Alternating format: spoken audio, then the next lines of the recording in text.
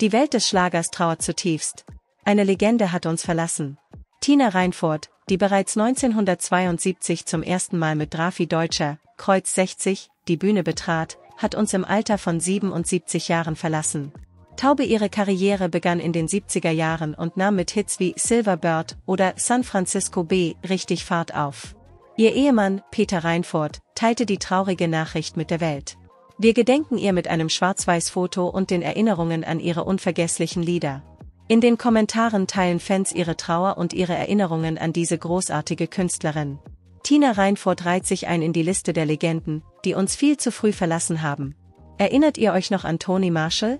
Auch er hat uns im Februar 2023 im Alter von 85 Jahren verlassen.